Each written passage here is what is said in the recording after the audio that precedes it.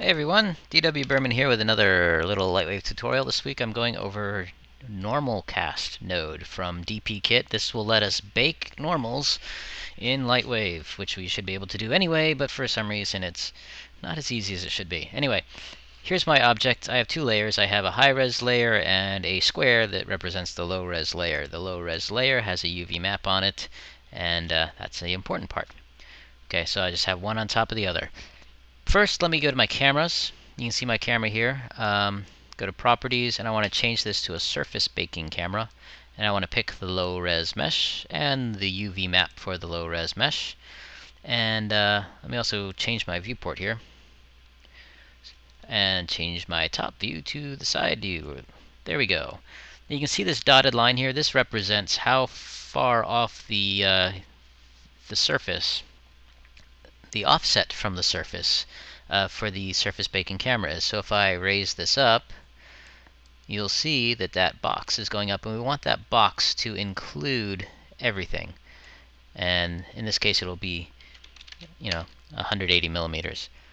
Now, if I come over here to my perspective, or my top viewport here, and I change to camera view, and I change my view mode to VPR, you might see something like this. If you don't see something like that, you want to check draft mode off because with draft mode on it just looks like that.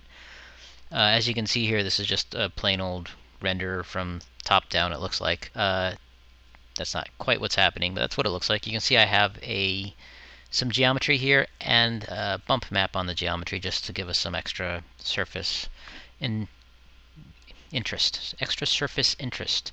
Um, because it's a UV map, I want to make this square. You don't have to, because it's just kind of mapping coordinates, but I'll make it square. So there we go. And with VPR on, you can see what happens when I lower the offset to distance so that it's too low. You can see that these, uh, the little bolt heads here disappeared.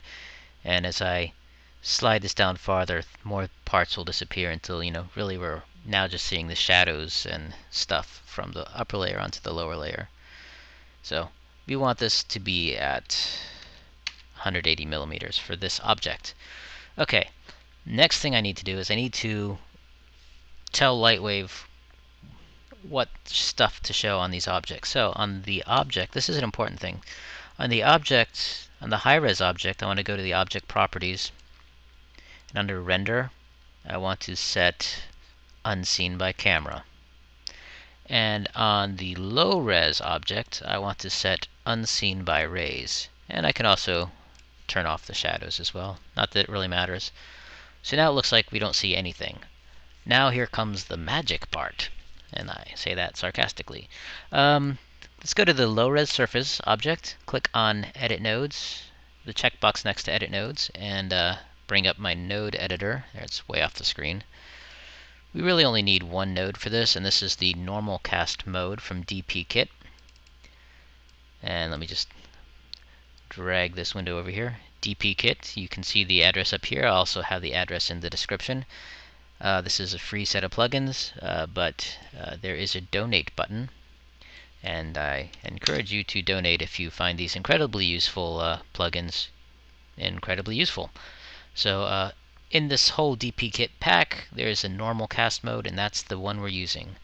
Uh, so let's take the output of this color shading. I'm going to plug it into diffuse shading. You could plug it into color and uh, set the diffuse to 0 and the luminosity to 100. Um, but I'll just plug it into diffuse shading and that'll take care of that. You will also want to turn down specularity and reflection on this model if you actually have specularity and reflection on that model.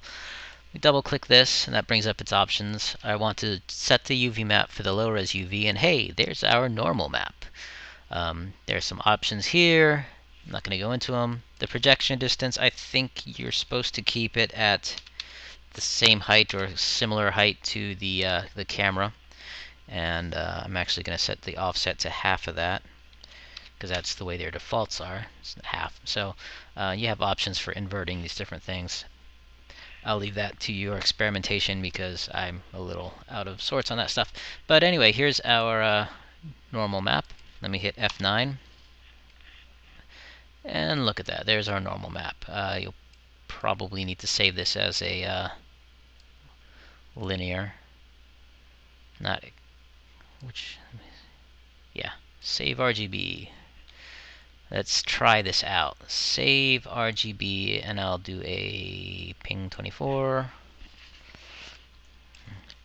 and then test and hopefully this will work correctly. I haven't actually tried this out, but yeah, that looks like it should work. Let's go to my scene editor and I'm just gonna hide completely the high-res object. Or high-res object. I'm gonna switch my camera to a different kind of camera. I could have just added a different camera, I suppose, but uh, do, do, do, perspective. And let's bring it up and over. So there, there we have just our uh, plain old flat polygon. And let's turn the uh, the settings options for that back on. And now let's go to our surface editor for this again. F5 to bring up the surface editor. It disappeared on me somewhere. There we go. Uh, let's see now. I still want edit nodes on, but I can disconnect this one, and I'll just go to a regular 2D, add normal map, drop that into normal, load the image I just saved, and the mapping will be UV map and low res UV, and there you have it. it might not be perfect. Let me turn mapping off.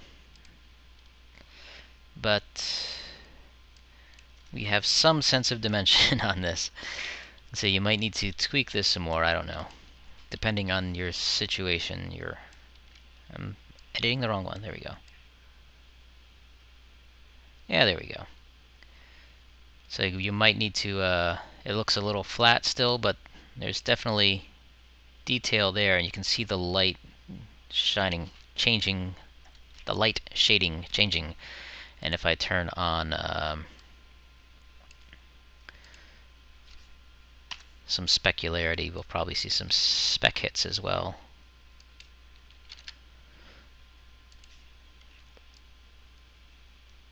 Yeah. So there you go. There's your normal map baked in Lightwave. So I hope this has been helpful to you.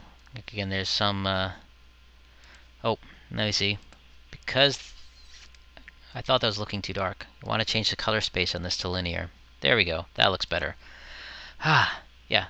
Change the color space to linear, and I noticed with some maps coming in from 3D Coat, you'll want to change the MIP map to off.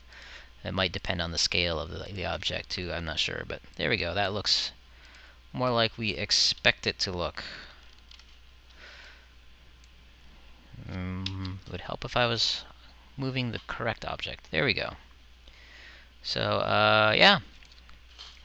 Exporting normal maps from Lightwave using DPKit's Normalcast. Uh, as always, subscribe to this channel so you can see helpful new videos like this. Uh, I try to get one up every week. And also check out my videos at liberty3d.com where I have some videos for sale, and other artists have some videos for sale and uh, tutorials. So, yeah, good stuff. Uh, thanks for watching. I'll see you next week.